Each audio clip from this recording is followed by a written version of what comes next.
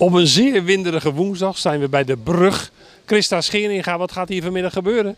We gaan eh, vanmiddag instructie geven aan eh, de medewerkers van de jonggroep.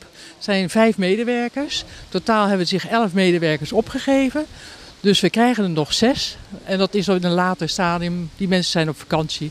Dus we gaan straks naar het Beatrixpark. Voordat we verder gaan, voor wie is die instructie bedoeld? De instructies zijn bedoeld voor de fietsmaatjes. Wat gaat u hen leren? We gaan ze in ieder geval de duofiets eh, uitleggen, hoe dat werkt. Ze gaan als gast gaan ze fietsen en ze gaan als vrijwilliger fietsen.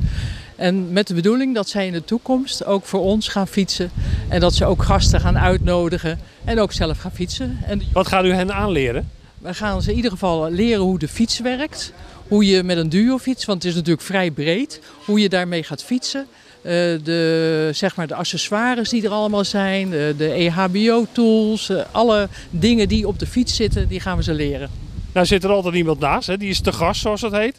Wat zijn dan dingen om op te letten? Ja, in ieder geval dat de gast goed zit, dat de voeten goed vastzitten, dat men comfortabel zit, niet te ver naar voren, niet te ver naar achteren. In ieder geval dat ze makkelijk kunnen trappen en af en toe ook kijken en ook vertellen van we gaan linksaf of we gaan rechtsaf. Dat mensen zich lekker voelen. Gewoon een leuk praatje maken met de mensen, dat vinden ze heerlijk. Hoe belangrijk is de conditie van degene die moet fietsen? Is in feite niet belangrijk. Men hoeft niet mee te trappen, mag meetrappen.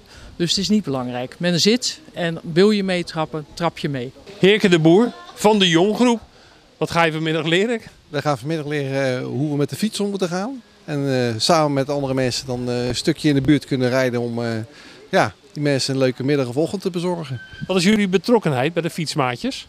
We hebben een, ehm, ja, iemand in dienst die is helemaal volledig voor de maatschappelijk verantwoord ondernemen aangenomen, zal maar zeggen. En dit is een van de onderdelen die hij bij ons onder aandacht heeft gebracht en waar wij aan deel kunnen nemen. Wordt het nu door de grote baas beslist van wie er wel of niet moet gaan fietsen? Nee, dat niet. Dat mogen we zelf kiezen. Wat vindt u het leuke ervan om dat te gaan leren? Ja, ik vind het wel goed om, eh, ja, er is sociaal wat, eh, wat te betekenen ook voor die mensen. Dat vind ik persoonlijk heel belangrijk. Ja.